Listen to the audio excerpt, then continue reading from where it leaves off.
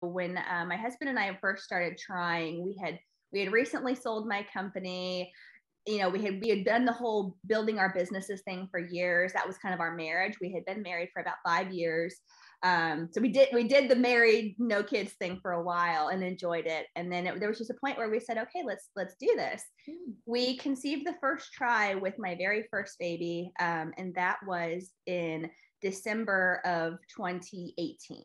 Mm-hmm. And we had, you know, we just were completely clueless on any type of abnormalities, you know, chromosomal. We just didn't know. I was 29 at the time. My husband was barely 31. I mean, there was just no reason to think we were high risk. Yeah. Um, and so we did the NIPT test and just to figure out the gender. And we got this just terrifying call from my mm. doctor that we had trisomy 18. Um, mm. and then we went down the road, and of course, it was confirmed. Um, so, you know, the pregnancy ended on its own around the same exact time we were planning to terminate it anyway. That's so the decision was semi made for us, but um, it was a little girl, and we were mm. just heartbroken. I just cried for weeks. You know, I was 29. I was in peak health. I was in shape. I worked out. I ate properly. I was traveling a mm. lot, but I mean, I was just really on top of everything. I, we don't have anything that runs in our family. We ended up doing an entire panel of genetic testing. Oh, we wow. went, we went yeah. crazy and just did it all. And there was nothing that came up. So mm-hmm. these things just happen. And it was heartbreaking, but it changed our perspective on trying. Mm-hmm. Um, we really started to know that there were these, these problems and these, you know, risks that were out there that we could not control we had the D&C January of 2020. And my period finally came back in March, and then we conceived in July. Oh. So my little April baby, my little rainbow, Olivia mm. Parker. Um, yeah, and That's lovely. Both family names, but um, she was um, our little rainbow baby and just healthy as a, a clam. She's she's just perfect, and um, she was worth she was worth it all. And then I was breastfeeding. So I breastfed her for 11 months. Around the six month mark, my period came back and I just mm-hmm. wanted to track it. We weren't trying. It was really just like natural. We were we were still protecting actually, but I just wanted to see where I was at. Um, because I just I knew from the D&C that my body could be different hormonally. Mm-hmm. And if there was any potential delay in us wanting to conceive that second one i just needed to understand what i was working with you know yeah and so i was tracking it and my ovulation was a little later i was noticing that i would feel crampy. The same day i would get a positive opk mm. and i'm like well, that's weird that's just so different than it was with olivia mm-hmm. um, which you know i got a positive opk and then i'd have the ovulation cramps you know two days later kind of typical what it's supposed to be. And so I, I kind of started noticing that my ovulation was just really, really rapid onset. Secondly, I also noticed that my luteal cycle was really short. I kind of noticed that something was wrong. Now, of course, I went to my doctor and I said, what's going on help help help and he yeah. did a full pelvic exam a full ultrasound to make sure all of my you know just everything was was how it should be because i yeah. had a c-section um so i just i was really nervous that something got disrupted in there i hear you and, i was good and he said you know you got you've got a great ovarian reserve everything looks great like you conceived quickly the first time mm-hmm. um you know it, it shouldn't it was shouldn't take you long um and so I, I just I felt like in my gut something wasn't right. Um, and I know that breastfeeding, obviously, with the um, you know just the different hormone levels, really can can offset the estrogen and progesterone. I didn't know to what extent though, and so my husband and I just decided to stop protecting. Not really tracking per se. I was still tracking, but we weren't timing it. It wasn't. How, it was sorry, how are you tracking? Is this before Mira? Before Mira, yes. Yeah. And I said, you know what? Let's, why not? We're, we're getting close. Her birthday's in April. You know, if it happens two under two, okay. But we also know it takes a couple months or longer. So yeah, what's what's the harm? And so we started just on protecting. I was still tracking with uh, just OP, uh, normal OPKs. Again, I noticed that, you know, the ovulation cramps, the signs, I, I was tracking cervical mucus, I was tracking the cramps. I was tracking all of the normal signs that even my body is, is has uniquely, ha- you know, I've noticed yeah. about it. And they all lined up with that positive test. I'm like, this is really fast. And I mm-hmm. noticed with the the um, just the cheap OPKs that my LH surge would like the onset would start the same day I'd peak and then it would mm. drop the exact same day. So within a 24 hour period, I went yeah. from crazy low, crazy high, all the way back down. I'm like, this is impossible to track.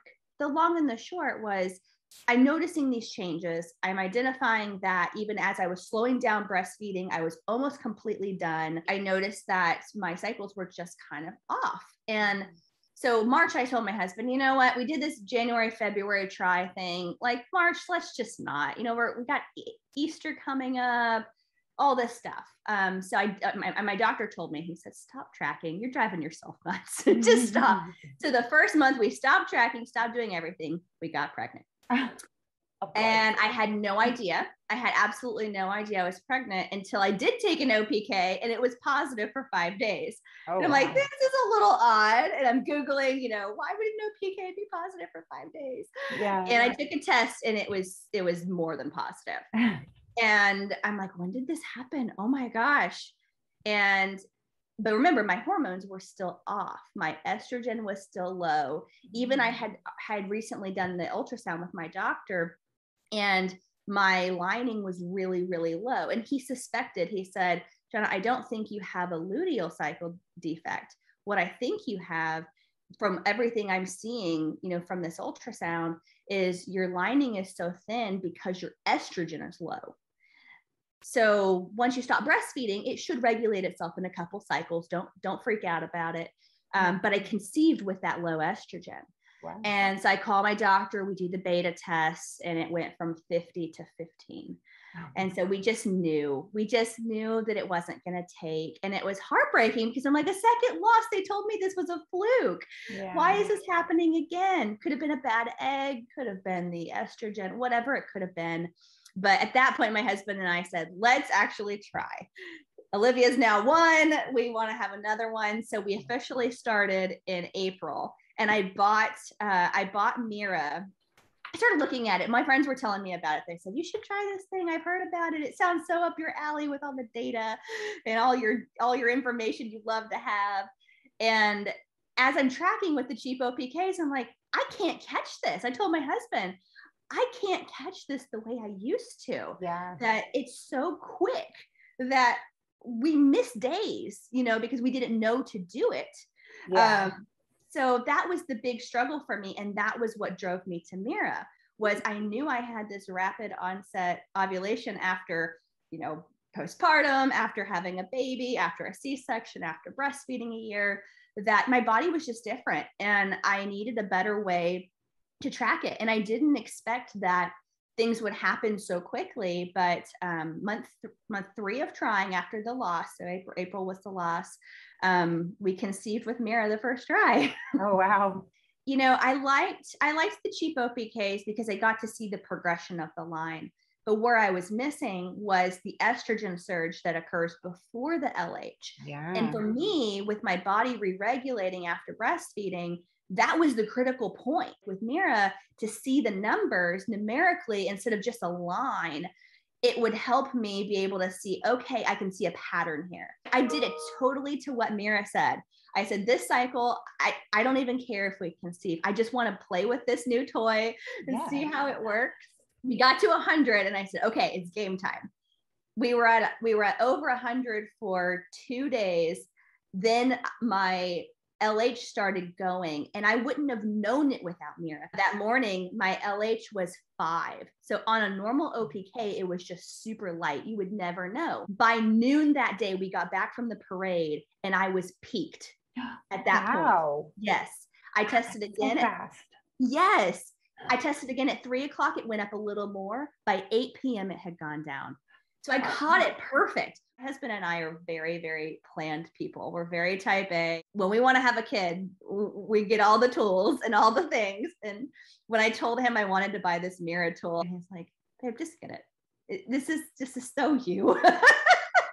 he said, please just don't get wrapped up in it. Don't don't get yourself stressed out about it. And that was what I told myself this cycle was it's my first time. There's no way it's gonna happen. Let's just see how this thing works. Yeah. And it worked. That's that's awesome. Fair. That's why I wanted to share my story, you know, with on here or however I need to with Mira because it, I don't think it would have happened as quickly without Mira. I was really struggling to find that surge and it was hit or miss. And like I said, you know, we could we could have just kept having sex every day, but that just ruins the the fun and the love and overall joy of what sex is. It just yeah. Mira was amazing. And I don't know how it happened. Uh, I ended up meeting Kristen and um, I was telling her about, you know, my cycle and my experiences. And she said, Would you like to be part of the PD- PDG test? the beta test. And I yeah. said, yes.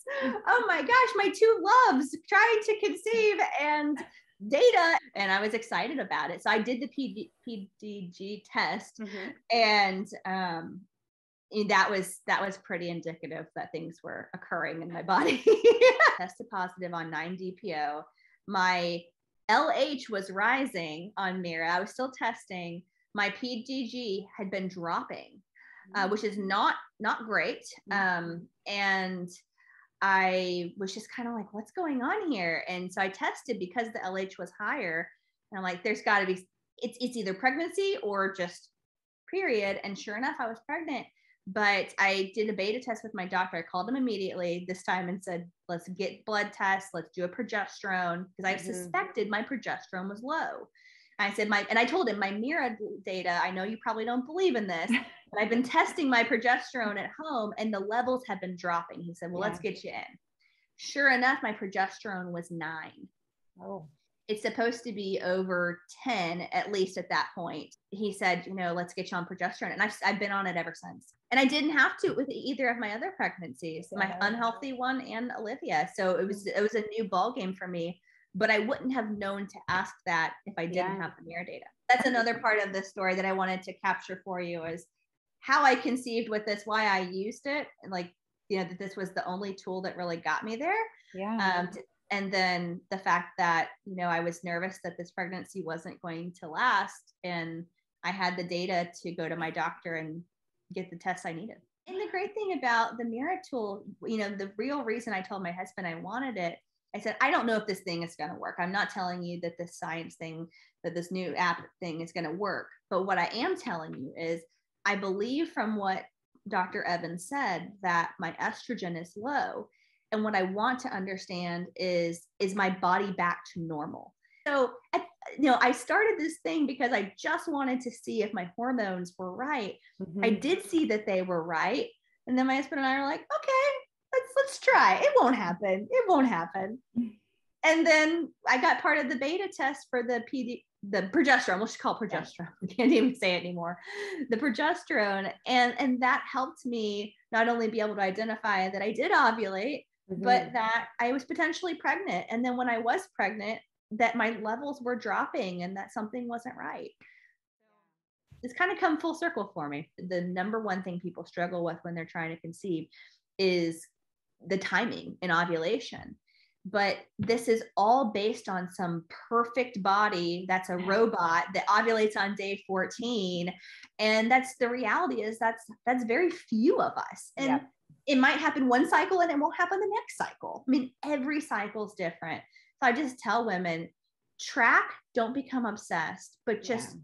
notice your own patterns and don't be don't be so wrapped up in in trying to um, to have the perfect cycle just figure out what your normal is mm. and that mm. i think that's how i conceived i just i knew my lh was rapid yeah. i knew it came really really fast and i was like how am i going to catch this thing no one is perfect no body is perfect literally mm-hmm. no physical body is perfect and the more data we can have the more information we have to empower ourselves it's either going to help us or it's going to help our doctors help us.